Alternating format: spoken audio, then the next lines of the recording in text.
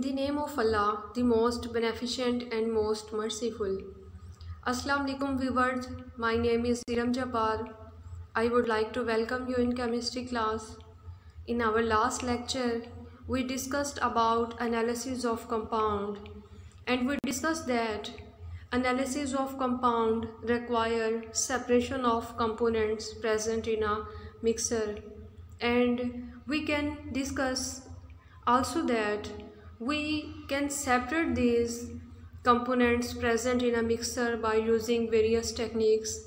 In our today's lecture, we will discuss from one of these separation techniques that is filtration.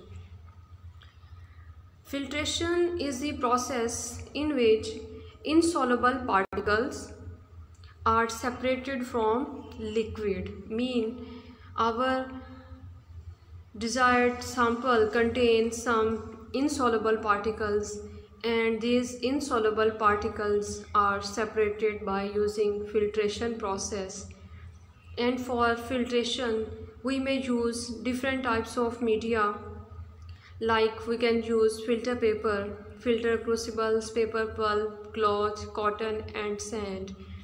We may use from one of these filter media the type of filter media used depend upon the nature of precipitate which are present in a given solvent. Filtration by filter paper is a very slow process because solid particles are remain behind on filter paper and solvent passes through. This may take very long time so this is a very slow process and uh, when mixture is poured on filter paper then solvent passes leaving behind pure solid product.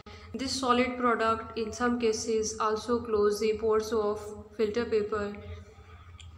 Because and uh, we know that filter papers have a variety of pores. Mean different types of filter papers are present which have different sizes of pore.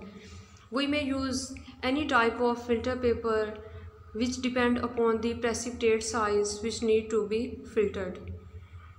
For example, in this case diagram, you can see that our desired sample contains some solid particle and this sample is poured on filter paper.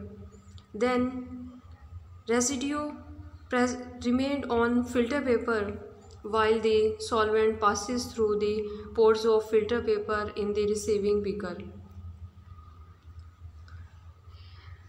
I told you earlier that filtration by glass funnel and filter paper is a very slow and time consuming process. We may increase rate of filtration by suction pump but to do smooth filtration certain conditions need to be fulfilled. Number one, a filter paper should be of larger size. Filter paper should be of large size so that it is one fourth to one half full of precipitate at the end of filtration. Number two, funnel should be of larger size. It should be of large size so that filter paper fit in the funnel and uh, funnel extend 1 to 2 centimeter above the filter paper and this funnel should be full of liquid as long as the process of filtration continue. Number 3. The funnel stem also of larger size so that it may extend few centimeter in the receiving beaker and funnel stem also touch the sides of, side of beaker. When funnel stem touch the side of beaker, then solvent flow down through the wall of beaker without causing any splashes. As you can see in this diagram that water contains solid sand particle and pour these on filter paper but we use glass rod over here because when we use glass rod then mixer doesn't come in direct contact with filter paper this thing avoid busting of filter paper. Second, this glass rod is also used for stirring purposes because if we don't perform stirring then pores of filter paper may get closed by solid particles. But when we use glass rod for stirring then this thing may increase the rate of filtration little bit and also ensure that filter paper pores may not get closed by solid particles. And you can see that the funnel stem also touch the side of beaker. This thing ensures that splashings will not take place. In this way we may increase the rate of filtration for filtration process we require filter paper cone. How we can fold a filter paper to fit it in, into a funnel stem. For this purpose, take a round filter paper. After that, fold it such a way that first fold should be done along the diameter of paper.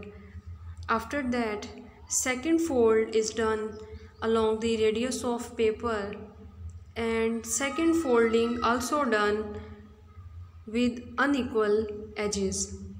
That is edges of filter paper don't match quietly. After that open the filter paper in such a way that filter paper have three fold thickness on one side and one fold thickness on the other side. This thing ensure that when we pour the mixer on filter paper then we always pour or we say that in most cases we pour the solvent on that side which have three fold thickness. This thing avoid busting of filter paper.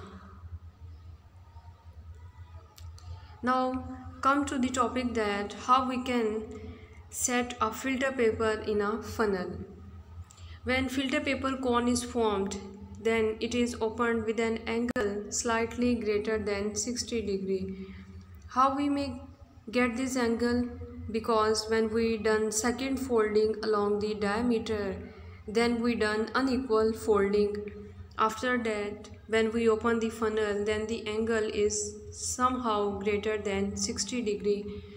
After that, Insert this filter paper cone in a funnel with angle 60 degree. This thing tightly fit the filter paper in funnel. This tight fitting creates suction which increase the rate of filtration. After that, moist the filter paper with water.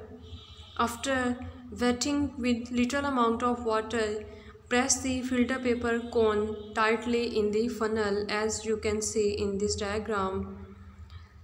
You see, you see that edges of filter paper are not matching quite.